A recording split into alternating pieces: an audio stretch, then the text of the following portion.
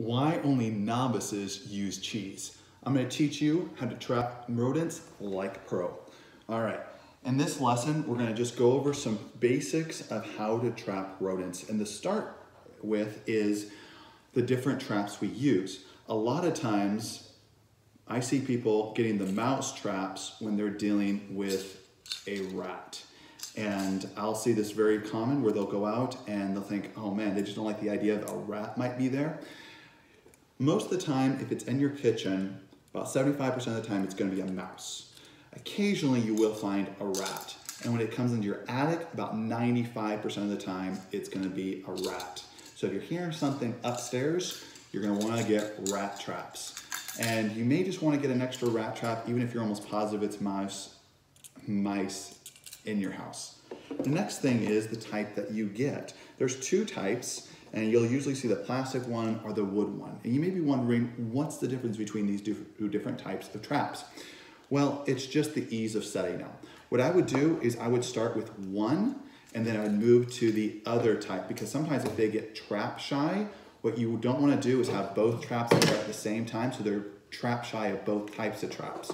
So whatever one you start with, if they're not going for them, you can switch to another type of trap. Now, how do you avoid them being trap shy? Well, when you put the trap up there, don't set it. Just put something on there they're attracted to. Although in the cartoons they love cheese, in real life, you're better off with something like peanut butter, fruit, or garbage. These are those three different types of material that you want to use. So one thing they look for is nesting material. So what you're gonna do is take little tiny strips of anything you found in the garbage, like a heavy duty plastic that I pull on it, it'll snap. And I'll show you what it should look like when you're done, right in the picture. And that's kind of what a trap should look like if they're looking for nesting material. Now, if it's in the winter, a lot of times they want a starch. And that's where a good peanut butter is gonna come in handy. Now, when you're doing peanut butter, a lot of times people put a giant glob on there. That's not how you want to put it on the trap.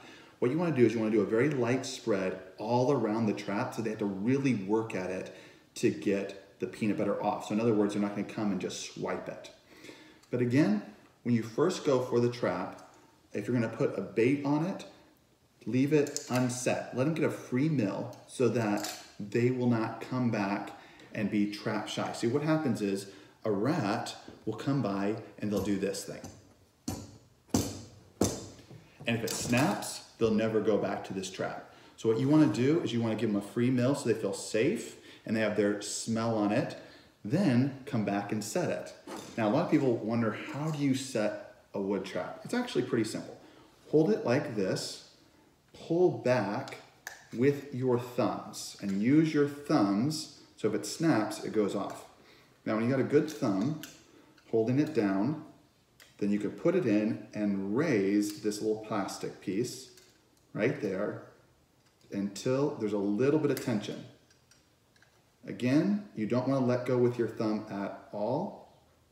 And sometimes it's going to be a little bit tricky to find that purse. And then you can hold it down like this. And if it snaps, it's going to scare you, but it's not going to hit your thumb. So just slowly let go and there you go. Always holding it down. And if you're really afraid, I'm sure you can get a clamp or something. That's where these plastic ones do come in handy. A lot of times people like the plastic ones because there's a less likelihood of you being snapped and they're just a little bit easier to set. But with these traps, they're not necessarily any better at catching mice or rodents than they are the wood traps. But what I would do is I would only pick one. So sometimes people think, well, if I get the wood ones and the plastic, I'm more likely to catch something. You don't want to do that. What you don't want to do is start with the wood ones or start with the plastic ones, try to get them to eat off of them, start catching them with them, and keep on working with them until you can't catch them anymore. And hopefully you don't have to go and move to plan B. But what's nice is if they're trap shy of these type of traps, uh, moving to another type of traps will give you a second round at trying to catch them. So if they get trap shy, they can move over and use the different types of traps. And then the last type of bait, fruit. So if it's in a hot summertime, you you want to get something with maybe a high sugar and high liquid content so they can get their moisture, get some liquid out of the food they're eating. So usually in the winter, a starch, summer, something with high liquid. And if they're looking and they're just looking for nesting material, usually anything out of the garbage can that you can just get, put it in. And now it's time to place the traps. This is probably one of the biggest things that people mess up with that they won't catch anything. If you put the traps out in the middle of the open like this, most likely they're not gonna get anything. What you wanna think is in lines. So the first line that you can think of is maybe right across the wall. So whether they're coming or going, they'll hit the trap. Now there's some places like behind your refrigerator that there's not enough room for it to go this direction against the wall. So you might consider using two traps and put them at opposite ends like this. So you can pull your refrigerator out, put two traps. So whether they're coming or going, the traps get them like this. So you wanna be looking at lines when setting your trap. And the last thing is, once you catch something on a trap, a lot of people just throw the trap away. But those that have been in the industry for a while realize that a trap that has been used is more likely to get another rat or another mouse on it because it already has their smell on it. So wear gloves, wear a bag. You don't want to get any germs from the rodents. Just let it loose and drop it in the disposal bin and then reset it, put some bait on it, and you can put it right back where it was. And although sometimes it feels more sanitary to grab a new trap, the old trap will give you better success to use over and over again.